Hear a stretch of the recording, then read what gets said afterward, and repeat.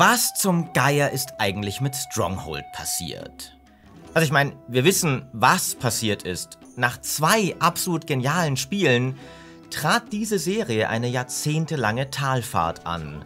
Heute freuen wir uns schon, wenn ein Stronghold mal okay ist wie das neue Warlords und kein kompletter Rohrkrepierer. Das Was ist also nicht die echte Frage. Die Frage ist, wie und warum? Und dafür gibt's in meinen Augen fünf Gründe. Nummer 1. Stronghold war zu perfekt. Stronghold war ein Spiel, das einen Traum erfüllt. Endlich Burgherr sein. Und zwar wirklich das volle Erlebnis. Stronghold war ein erstklassiges Aufbauspiel, in dem wir eine Burg errichten und Wirtschaft und Volk verwalten. Und das war soweit nicht mal unbedingt eine Überraschung. Serienerfinder Simon Bradbury kannte sich mit Aufbau aus. Er hatte zuvor bei Impressions als Programmierer an allen drei Caesar-Teilen mitgearbeitet. Aber Stronghold war mehr als das. Es war auch ein echt gutes RTS. Wo Spiele wie Anno sich immer noch schwer tun, Aufbau und Kämpfe sinnvoll und spaßig zu verheiraten, ergibt sich das bei Stronghold ganz natürlich aus der Grundidee. Eine Burg ist ein Verteidigungsgebäude. Die muss eben auch verteidigt werden. Und mit jeder Menge coolen Mechaniken wie Pechgruben und verschiedensten Belagerungswaffen setzte Stronghold auch diesen Aspekt richtig klasse um. Mir fallen wenig andere Spiele ein, die einen so einfachen wie fantastischen Grundgedanken so rundum gelungen zum Leben erwecken wie Stronghold. Hier war ich eben wirklich Burgherr. Genau, was ich mir als zehnjähriges Kind mit viel zu vielen Ritterbüchern immer erträumt hatte. Stronghold war perfekt für mich. Aber das war ein Problem für seine Nachfolger. Denn wie setzt man ein perfektes Spiel fort? Das erste Stronghold hatte ja schon alles, was ich für meinen Burgherrentraum brauchte. Mir fehlte kaum Essentielles und es gab auch keine größeren Schwächen, die mich wirklich störten. Das Standalone Add-on Crusader konnte noch eine echte Lücke füllen, einen gescheiten Gefechtsmodus, den einfach jedes gute RTS braucht. Hat ja seinen Grund, dass Crusader bis heute als der definitive Serienteil gilt. Aber mit Stronghold 2 gingen dann die Probleme los. Das hatte keine essentielle Lücke in der Mauer mehr zu stopfen. Stattdessen war sein Ansatz einfach mehr. Es brachte mehr Gebäude, mehr Ressourcen, mehr Mechaniken. Und war damit kein schlechtes Spiel. Ich sage ja keineswegs, dass es unmöglich war, Stronghold auszubauen. Im Gegenteil. Ich war zum Beispiel ein Riesenfan der ganzen neuen Verteidigungsanlagen, die die Physik der neuen 3D-Grafik nutzten, wie zum Beispiel diese Baumstämme an der Mauer. Aber unterm Strich wurde es bei Stronghold 2 dann zu viel. Es gab zu viel, um das ich mich kümmern musste, und längst nicht alles davon machte Spaß. Klar, Ratten und Jauche waren eine echte Sorge für echte mittelalterliche Burgherren. Aber ich hatte bei Stronghold 1 jetzt nie den Gedanken, Mann, ich würde mich jetzt wirklich gern noch mehr mit dem Dreck in meiner Burg rumschlagen können. Der erste Teil schaffte es perfekt, seine Spielmechaniken und die verschiedenen Aspekte des Burgherrenlebens so auszutarieren, dass alles Wichtige da war und nichts davon zu überladen. Teil 2 fehlte dieses Feingefühl. Trotzdem hatte er seine Fans. In einer hochwissenschaftlichen Twitter-Umfrage stellte ich sogar fest, die meisten meiner Follower fanden Stronghold 2 damals gut. Aber heute bleibt trotzdem nur noch wenig Nostalgie für das Spiel übrig. Auf Steam sind im Schnitt so 300 Spieler online, beim ersten Teil 400. Und beides verblasst komplett gegen das erste Crusader mit 1500 Steam-Spielern. Und auch Crusader konnten Firefly nie so richtig weiterentwickeln. In Crusader Extreme versuchten sie es mit albernen Fähigkeiten, wie Truppen, die aus dem Nichts aufploppen, aber ganz ehrlich, das braucht halt einfach niemand. Aber ich sag gar nicht, dass nur die Entwickler dran schuld sind, dass Stronghold sich so schwer weiterentwickeln kann. Wir Fans waren auch immer ziemlich konservativ. Und das bringt uns zu Grund Nummer 2. Der Traum von Stronghold ist in Stein gemeißelt. Es hat auch einen Nachteil, wenn man den Leuten so perfekt einen ganz konkreten Traum erfüllt. Sie wollen dann auch nur genau diesen einen Traum von dir. Stronghold stieß nie auf viel Gegenliebe, wenn es davon abweichen wollte. Crusader ließen die Leute noch durchgehen. Das war ja immer noch Mittelalter, nur halt woanders. Aber ich muss zugeben, selbst das hat mich damals schon irgendwie genervt. Ich fand die klassischen grauen Burgmauern auf grünem Feld einfach schöner als Sandstein auf Sand. Alles braun. Bläh. Aber weiter als das ging vielen Stronghold-Fans dann endgültig, naja, zu weit. Stronghold Legends verfrachtete die Serie etwa in ein Fantasy-Szenario. Und das ist ja eigentlich eine sehr naheliegende Idee, Stronghold weiterzuentwickeln. Total War zeigte später, dass es kaum einen besseren Weg für eine historische Serie gibt, ihr Gameplay auszubauen. Total War Warhammer erweitert das Serienprinzip um Flugeinheiten, Magier und haufenweise andere Fantasy-Ideen, die es schlichtweg zu einem vielfältigeren Strategiespiel machen. Und diese Dinge könnte es in einem Medieval 3 einfach nie geben. Aber von Stronghold wollen wir halt klassisches Mittelalter, weil das ist eben der Burgherrentraum. Ich persönlich liebe Fantasy, aber hatte trotzdem keinen Bock auf Legends. Und auch sonst kaum jemand. Auf Steam ist es heute das unbeliebteste Stronghold nach Teil 3. Wobei das nicht nur am Szenario liegt, sondern auch daran, dass nach Stronghold 2 es zu sehr in die andere Richtung ging und den Aufbaupart zu sehr zusammenstrich. Wie gesagt, Firefly kriegte diese Balance mit den neueren Strongholds nie wieder so gut hin wie früher. Aber auch Stronghold Warlords stieß mit seinem Asien-Szenario instinktiv auf Ablehnung. Dabei hätte das ja durchaus auch spannende neue Impulse liefern können. Ich kann da mal ein wenig aus dem Nähkästchen plaudern, um nochmal den Total War-Vergleich zu bemühen. Ich habe für GameStar sowohl Thrones of Britannia als auch Three Kingdoms von der ersten Preview bis zum finalen Test betreut. Bin nach England zu den Entwicklern geflogen, habe Videos und Artikel gemacht, das volle Programm. Und Thrones of Britannia hat viel mehr Leser interessiert als Three Kingdoms, Dabei ist es nur ein kleiner Spin-off-Titel und obendrein das viel schlechtere Spiel. Aber es hat klassisches Mittelalter und das wollen die Leute bei uns einfach viel lieber. Wohlgemerkt, bei uns. Der chinesische Markt machte Three Kingdoms trotzdem zum erfolgreichsten Total War Launch aller Zeiten und Asien ist auch für Firefly ein wichtigerer Markt, als ihr vielleicht denkt.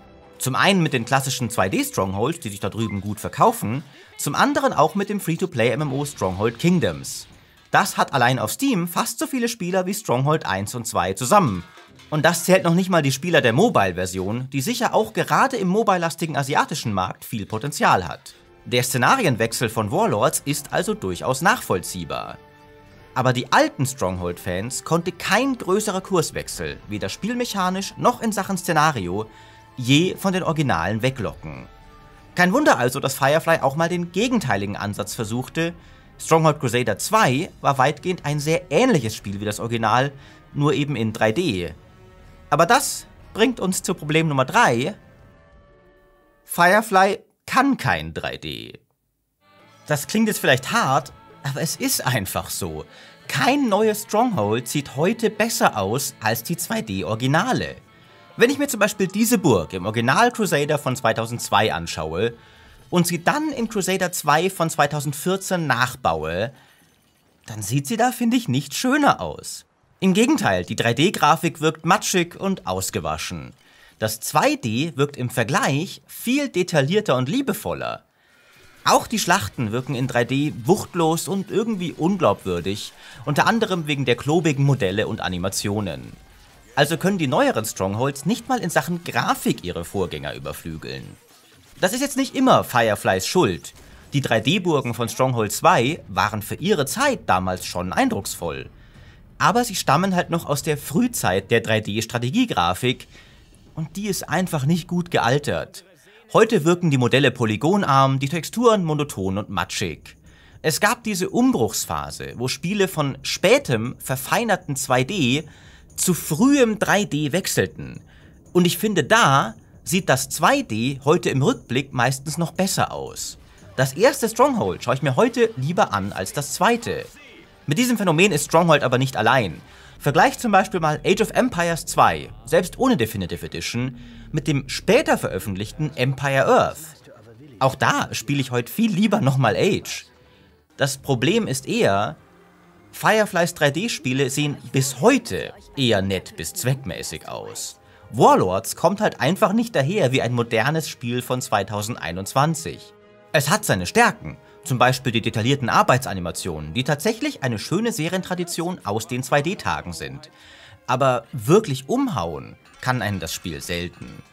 Nun muss man dazu sagen, dass Firefly ein sehr kleines Studio ist. 2017 hatte die Firma nur 30 Mitarbeiter. Dass ein Stronghold da nicht aussehen kann wie Age of Empires 4 mit fettem Microsoft-Geld im Rücken, das ist klar. Aber für die Serie ist das eben doch ein Problem, denn so wird es schwer für sie, neue Fans anzuziehen. Ein richtig eindrucksvolles AAA-Burgenbauspiel könnte sicher auch heute noch neue Fans auftun, die nicht mit rosaroter Brille an einem Traum von vor 20 Jahren festhalten würden. Aber so findet Stronghold weniger neue Spieler, als es könnte, und stellt gleichermaßen die alten auch nicht mehr so recht zufrieden. Wozu auch Problem 4 sehr viel beigetragen hat. Die Bugs. Einige der späteren Strongholds erschienen so richtig übel bugverseucht. Ich zitiere einfach mal meinen Kollegen Heiko aus dem damaligen Testvideo zu Stronghold 3. Aber gerade die Burgmauern machen uns zu schaffen. Der Mauerbau funktioniert nämlich extrem fummelig oder gar nicht. Gerade kleine Lücken sind sau schwer zu schließen, wenn überhaupt. Immer wieder konnten wir beim Testen keine Treppenstücke setzen. Yep, man konnte doch ernsthaft nicht mal gescheit Mauern bauen. In einem Stronghold. Zwar hat Firefly seitdem daran gefeilt, aber den Steam-Reviews zufolge das Spiel bis heute nicht wirklich rund gemacht. So eine Katastrophe haben die Entwickler aber seitdem immerhin nicht mehr abgeliefert. Zwar kritisierten die Steam-Reviews von Crusader 2 zum Launch auch einige Bugs und KI-Aussetzer, aber heutzutage fallen die Wertungen für das Spiel zumindest etwas besser aus, wenn auch immer noch nicht stellar. Und im Test von Stronghold Warlords fielen uns gar keine größeren Bugs auf. Man muss Firefly also zugutehalten, sie haben aus dem Debakel von Stronghold 3 zumindest gelernt. Aber unterm Strich bleibt trotzdem noch Grund Nummer 5. Die Abwärtsspirale. Und hier kann ich schlussendlich nur spekulieren, woran genau das jetzt liegt. Möglicherweise ist Firefly selbst frustriert und weiß nach so vielen Fortsetzungsversuchen auch nicht mehr so recht, was sie noch mit Stronghold anfangen sollen. Oder vielleicht liegt's am Geld. Stronghold wird immer noch gekauft und gespielt und Kingdoms spielt regelmäßig was ein. Aber wie gesagt, Firefly ist ein recht kleines Studio und es hatte lange keinen Hit mehr. Außerdem hat es schon länger keinen großen Publisher mehr im Rücken. Die ersten beiden Teile erschienen noch unter Take-Two, der dritte bei 760.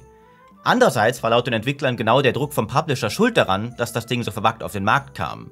In Interviews erzählte Simon Bradbury sogar, dass es die Einnahmen von Stronghold Kingdoms waren, die Firefly damals gerettet haben und dem Studio erlauben, seine Spiele selbst zu finanzieren. Aber man muss ganz objektiv festhalten, dass Stronghold in vielen Bereichen einfach schlechter geworden ist seit dem Original. Das ist nicht alles Geschmackssache oder Nostalgie oder eine Frage der Grafik.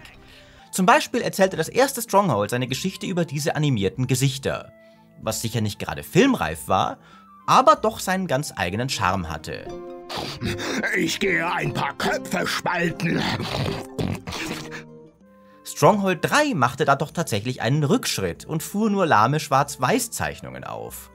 Und Stronghold Warlords kehrt 20 Jahre nach dem ersten Teil zurück zu den animierten Porträts, aber in schlechter. Solide Verteidigung, mein Freund. Eure Befehlsgewalt erfüllt mich mit Stolz. Hier gibt's nur einen Charakter pro Kampagne, der überhaupt so ein animiertes Bild hat. Es können sich also gar keine Dialoge entspinnen. Kein Wunder also, dass Warlords auch die Faszination seines Settings überhaupt nicht entfalten kann. Wenn ihr mich schon den Dschungelfürsten Tukfan spielen lasst, von dem ich noch nie gehört habe und der mich einen feuchten Kehricht interessiert, dann müsst ihr das irgendwie spannender machen. Derweil liebe ich ja Total War Three Kingdoms gerade deswegen, weil mich das in eine Epoche saugte, mit der ich mich davor nie befasst hatte. Ich habe seitdem sogar Bücher über die drei Reiche gelesen und mir die chinesische Serie im Original angeschaut. So sehr hat mich das Spiel für diese Ära begeistert. Ich kann mir nicht vorstellen, dass Warlords was ähnliches bei irgendwem zustande bringt. Und auch spielmechanisch gibt's einfach klar erkennbare Rückschritte. Zum Beispiel gibt's nur vier KI-Persönlichkeiten. Schon das erste Crusader hatte zum Release damals doppelt so viele. Und die machten einen großen Teil seines Charmes aus. Auch Burgen und Armeen fallen in Warlords viel kleiner aus als früher. Womit wir wieder zum Traum zurückkommen. Dem Traum vom Burgherr-Sein. Den erfüllt Stronghold bis heute mit seinen ersten Teilen am besten. Aber die Sache ist eben, es erfüllt ihn auch wirklich nur Stronghold. Oder zumindest erfüllt ihn kein anderes Spiel so gut. Es gibt nichts wirklich Vergleichbares. Jede andere Serie wäre nach so vielen Patzern und so vielen mittelmäßigen Teilen schon längst in der Versenkung verschwunden. Aber nicht Stronghold. Denn wir wollen diesen Traum nicht begraben. Wir wollen weiter davon träumen, dass Stronghold irgendwann zu alter Größe zurückfindet. Ich persönlich würde mir einfach ein Remaster des Originals wünschen, also wieder in 2D, aber so umfangreich restauriert wie die Age of Empires 2 Definitive Edition. Wie sähe denn euer perfektes nächstes Stronghold aus? Oder habt ihr den Traum inzwischen doch begraben?